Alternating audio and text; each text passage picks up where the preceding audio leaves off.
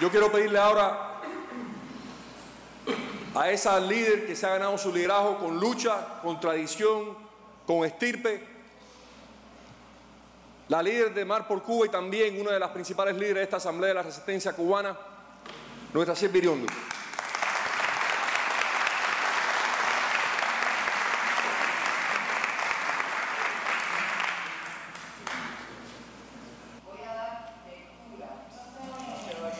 Voy a dar lectura a la declaración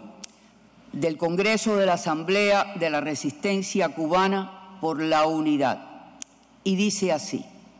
Nosotros, a nombre de la Asamblea de la Resistencia Cubana y el Congreso de la Resistencia por la Unidad, y como líderes y representantes de las comunidades exiliadas de Cuba, Venezuela y Nicaragua, unidos por el mismo ideal, contra el mismo mal y conscientes de nuestra responsabilidad ante la historia, declaramos hoy en el ayuntamiento de la ciudad de Miami lo siguiente. Ante la profunda crisis humanitaria por la cual atraviesa nuestra hermana República de Venezuela y la brutal represión que ha sido desatada por el régimen usurpador de Nicolás Maduro, ocupado y dirigido por las fuerzas militares del régimen comunista que impera en Cuba, reiteramos nuestro apoyo irrestricto al presidente interino y legítimo Juan Guaidó y a la entrada de la ayuda humanitaria que el pueblo venezolano, sumido en la miseria, hambre y falta de atención, desesperadamente necesita. Con horror hemos visto la barbarie perpetrada en el día de ayer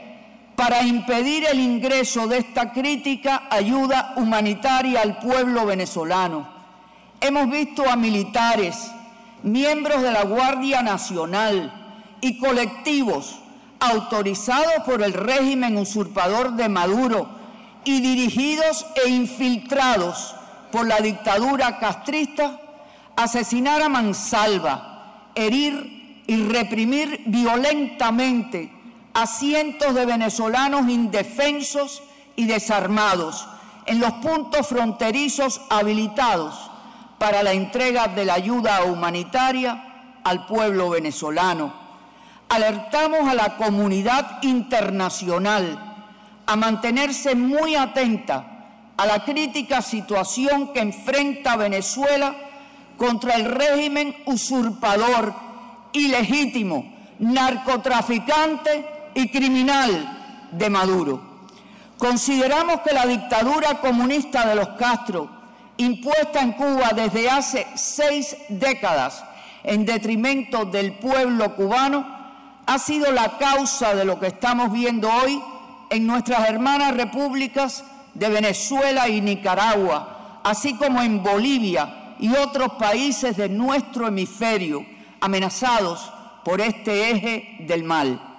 Estamos conscientes de que Venezuela es un país intervenido por el régimen de La Habana y que hasta que no se erradique este cáncer de una vez y por todas en su raíz, Cuba, no habrá paz, estabilidad ni seguridad para nuestros pueblos ni para nuestra región. Apoyamos al presidente de los Estados Unidos, Donald J. Trump, a su administración y a nuestros funcionarios electos por su solidaridad en contra de las dictaduras en Venezuela, Cuba, Nicaragua y nuestra América. Al secretario general de la OEA, Luis Almagro, por su firme posición respecto a Venezuela y su llamado a aislar internacionalmente al régimen comunista de Cuba y a los más de 50 gobiernos democráticos y sus líderes que se han colocado firmemente al lado de Venezuela. Ante los acontecimientos más recientes, instamos a todos a incrementar sanciones, medidas y acciones inmediatas, urgentemente, encaminadas a lograr la salida definitiva de Maduro del poder. Por tanto, reunidos hoy con el compromiso y deber de contribuir a lograr la libertad de Cuba, Venezuela, Nicaragua y otros países en nuestro hemisferio, exigimos lo siguiente, que los agentes de inteligencia del castrismo y sus huestes militares, específicamente los que están siendo dirigidos por el régimen de Cuba a cometer crímenes contra la indefensa población venezolana, salgan de Venezuela inmediatamente o de lo contrario, se coloquen al lado del pueblo venezolano en su justo reclamo de libertades y derechos fundamentales.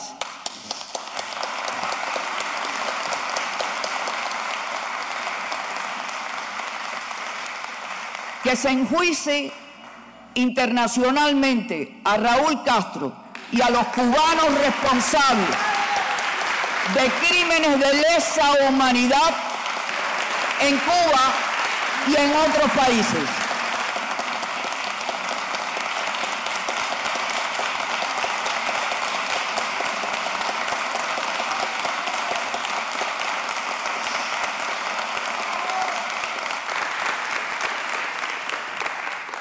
que se implemente el título 3 de la ley Libertad Helms-Burton.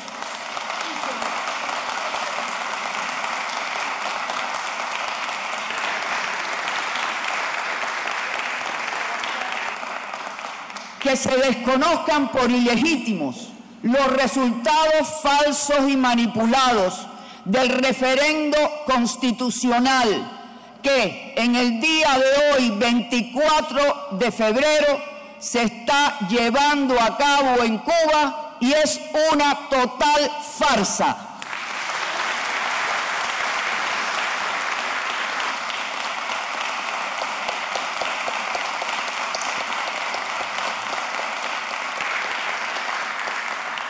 Que se extienda un sólido apoyo a toda la resistencia en Cuba en Venezuela, en Nicaragua y otros países que están siendo sometidos a regímenes totalitarios como es el caso de Bolivia.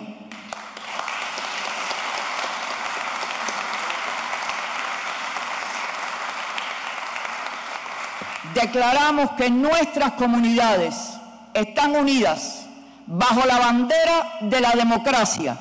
y que no descansaremos hasta que nuestros esfuerzos individuales y conjuntos logren para nuestras respectivas patrias la ansiada libertad.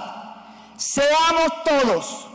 una cadena democrática por la libertad de Cuba, de Nicaragua, de Venezuela y de nuestra América. Sí se puede.